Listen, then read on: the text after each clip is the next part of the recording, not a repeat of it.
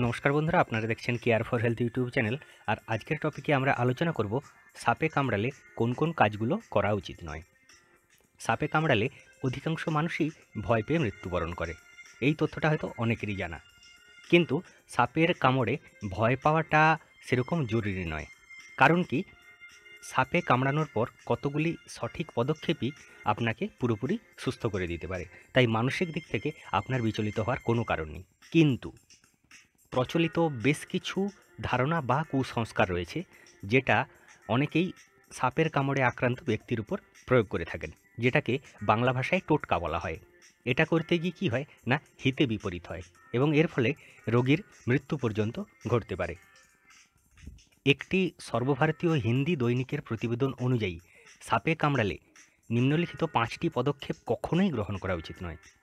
তো বন্ধুরা, চলুন আজকের ভিডিওতে আমরা জেনে নিই সাপে কামড়ালে কোন কোন পদক্ষেপগুলি নেওয়া উচিত নয়।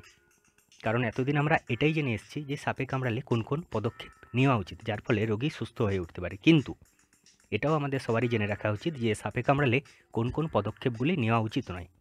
কারণ অনেক সময় ভুল পদক্ষেপও মানুষকে মৃত্যুর দিকে নিয়ে যেতে পারে। তাহলে চলুন আমরা এখন পদক্ষেপগুলো দেখে নিই, কোন কোনগুলো নেওয়া উচিত নয়।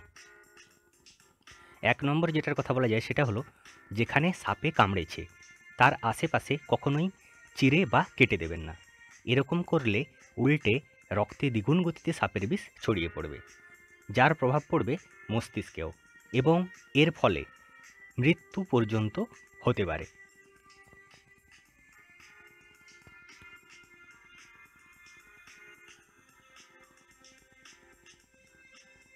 দু নম্বর যেটার কথা বলা যায় সেটা হলো, যাকে সাপে কামড়েছে, তাকে কখনোই কাত করে শোয়াবেন না। সব সময় সোজা করে শোয়ান। ঠিক যেভাবে স্ট্রেচারের উপরে রোগীকে শোয়ানো হয়।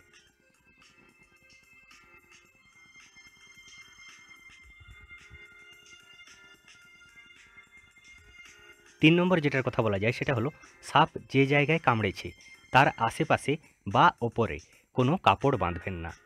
এর ফলে রক্তচাপ বেড়ে গিয়ে ধমনী এবং শিরা ক্ষতিগ্রস্ত হতে পারে।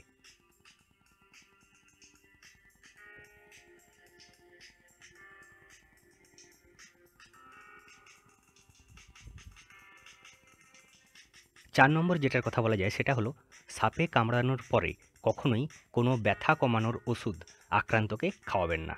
এর ফলে আক্রান্তের শরীরের প্রকৃত অবস্থা বোঝা কঠিন হয়ে পড়ে। এবং আক্রান্তের যন্ত্রণা আরও বেড়ে যেতে পারে।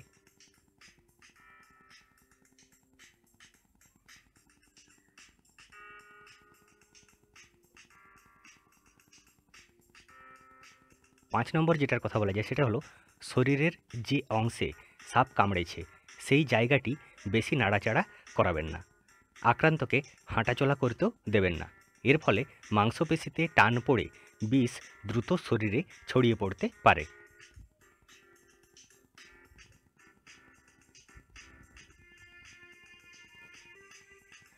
তো বন্ধুরা, আমরা জেনে নিলাম সাপে কামড়ালে কোন কোন পদক্ষেপগুলি কখনোই গ্রহণ করা উচিত নয়। আসলে কোনো রকম টোটকা বা কুসংস্কার নয়। সাপে কামড়ালে আক্রান্তকে দ্রুত হাসপাতালে নিয়ে যান।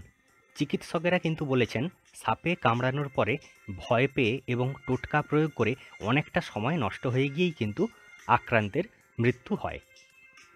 লখনৌয়ের কিং জর্জ মেডিকেল ইউনিভার্সিটির টক্সিকোলজি বিভাগের এক সহকারী অধ্যাপককে উদ্ধৃত করে ওই প্রতিবেদনে বলা হয়েছে যে কোনো বিষধর সাপই মানুষকে কামড়ানোর সময় খুব অল্প পরিমাণে বিষ ছাড়ে।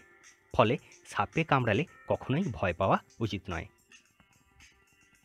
তো বন্ধুরা, অবশ্যই ব্যাপারটা মনে থাকবে যে সাপে কামড়ালে কোন কোন পদক্ষেপগুলি বা কোন কোন টোটকাগুলি কখনোই প্রয়োগ করা উচিত নয়, যার ফলে রোগীর অকাল মৃত্যু পর্যন্ত হতে পারে।